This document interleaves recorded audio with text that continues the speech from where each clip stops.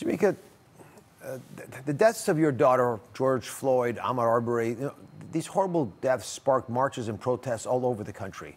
What do you think of the progress that has been made?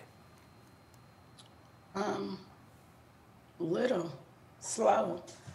Um, I just think it, it, it needs to be so much more and it, it needs to happen faster because although these changes are happening, we're still dying because of them.